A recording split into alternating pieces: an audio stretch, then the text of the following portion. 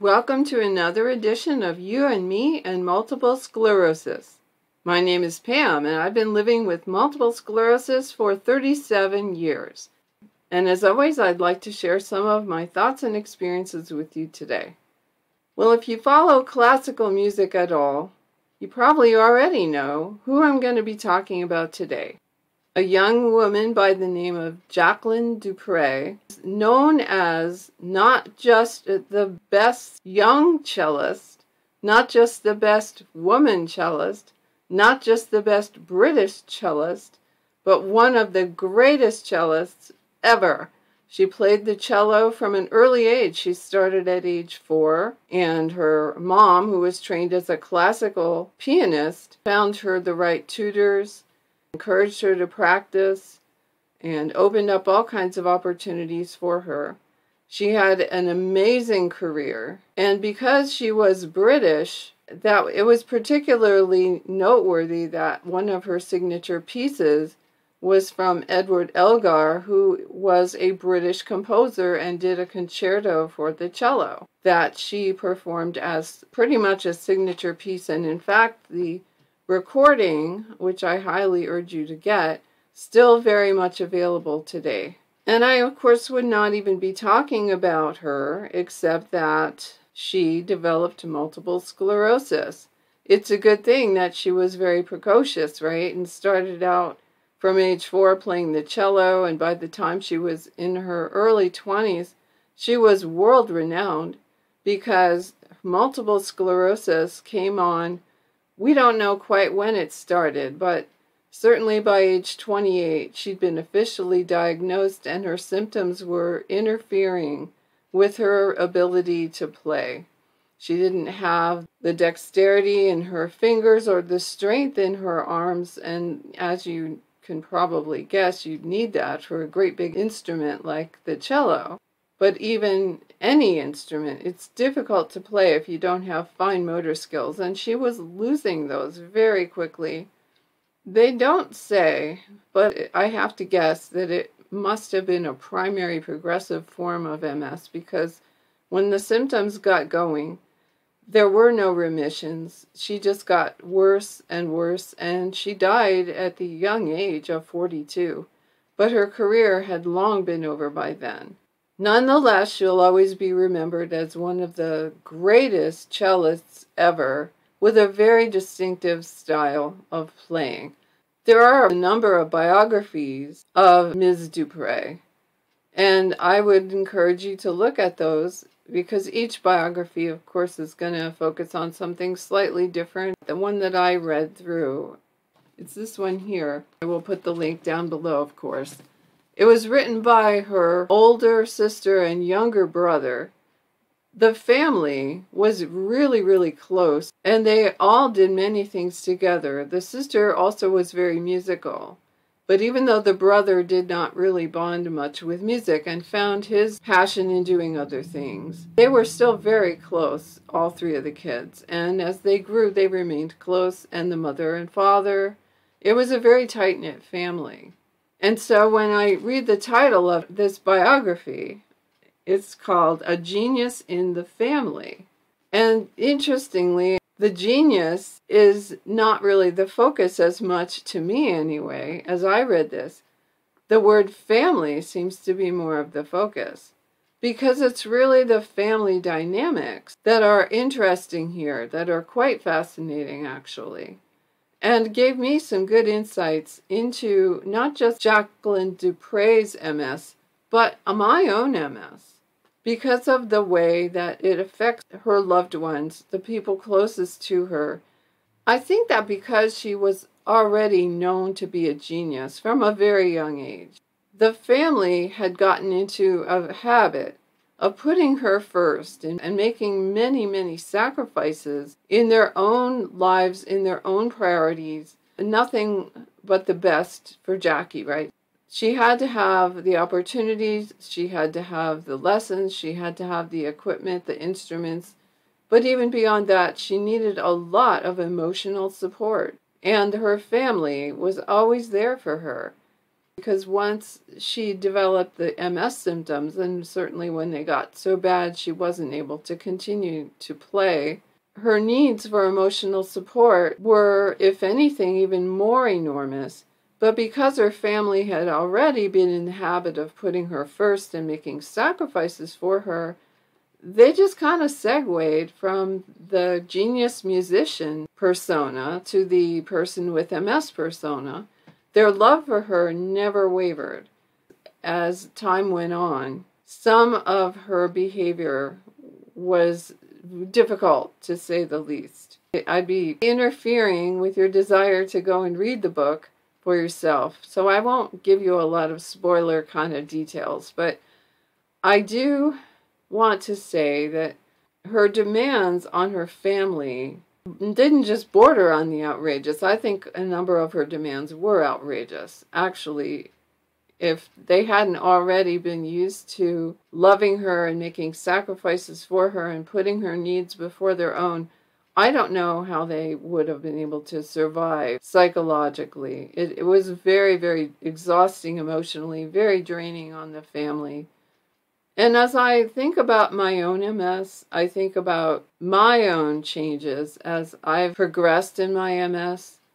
And I'm certainly not as progressed as Jacqueline du Pré. She was unable to take care of herself. By the end, she couldn't even feed herself. She had trouble swallowing. It was quite an effort just to maintain her. She lost her ability to speak, at least intelligibly even though she could hear certainly and she understood things, but people would talk with her, but she couldn't really communicate back. And thankfully, the family, being so close to her, they kind of knew and understood much more than she was able to communicate verbally.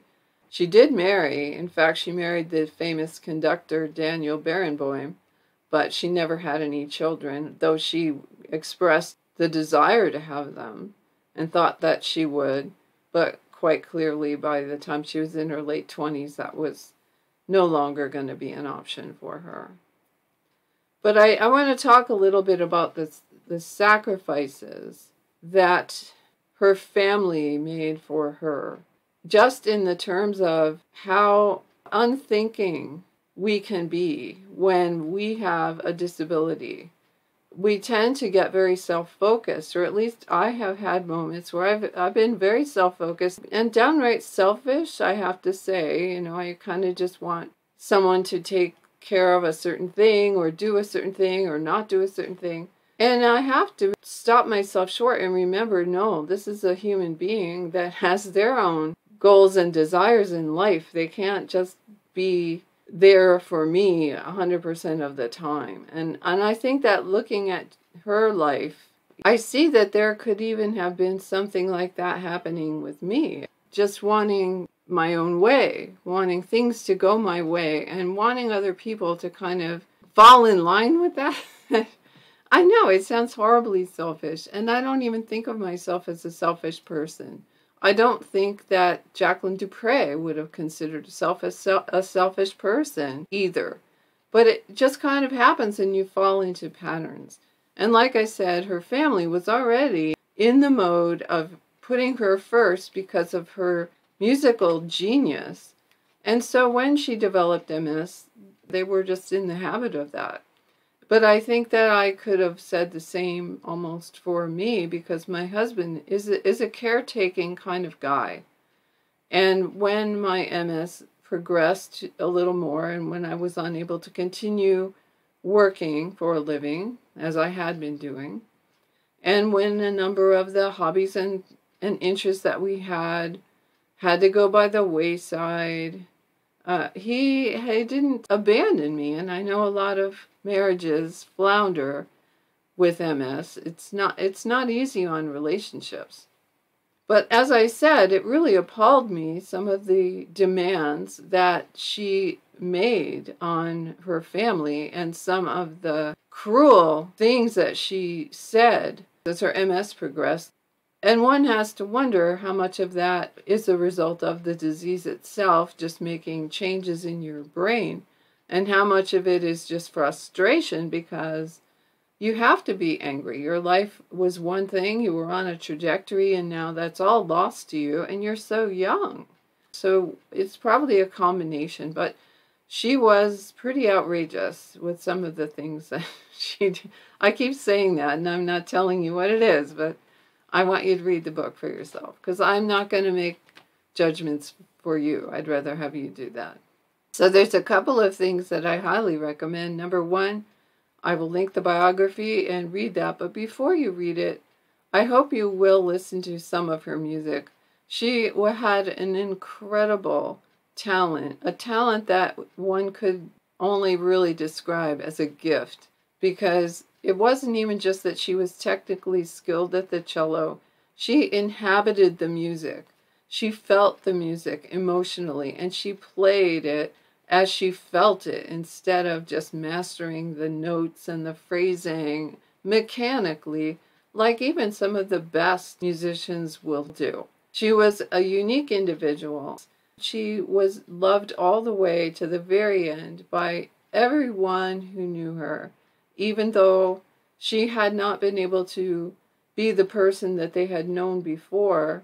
She was still someone who was very, very important to them.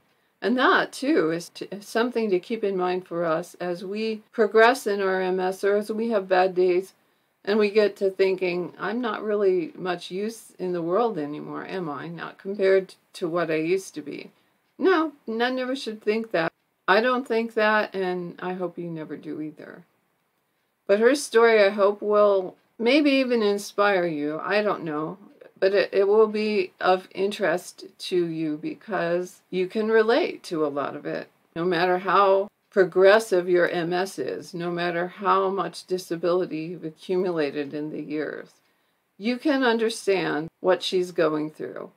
Especially when you consider that this was all happening back in the 60s and 70s and into the 80s. And the sad thing is, MS is no more curable and in some ways no more treatable than it was back then. And people's thoughts about MS back then are not all that different from today, even though we have a lot more medicines uh, that have some promise. But what they thought about people with MS and what they thought their prognosis was really hasn't changed all that much. When we read about her, it's a lot easier to relate to what she's going through than perhaps we might with just about any other medical condition. Well, thankfully, one thing that is different that we seem to have learned over the intervening years is the, the effect of stress on our MS symptoms.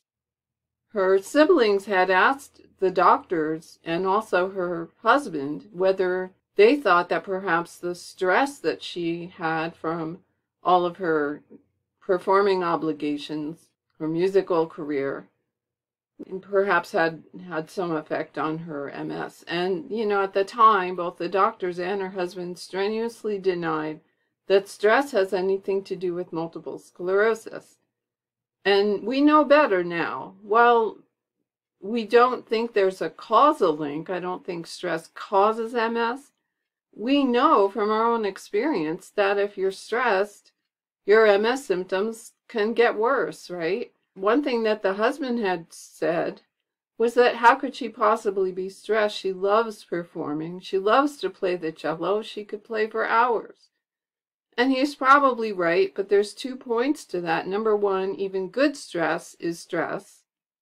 And number two, there's more to a musical career than performing, right? You've got travel, you've got meeting with people, you've got parties, you've got long hours, you've got signing ceremonies, you've got awards banquets, you've got all kinds of other stuff. And that can be really wearing. And there are even hints in the book that she did find some aspects of her career exhausting. So I'm glad that at least now we know that MS is more than just a physical disease and that we need to be looking at other factors. I don't know if I made a lot of sense on this one, but I have been very affected by this book. If you do read it, I'd love to hear comments from you about it, what your thoughts were, how you saw her life whether you relate to any of what was going on. Anyway, leave me a comment below. Have a wonderful day, and I'll see you again in my next video.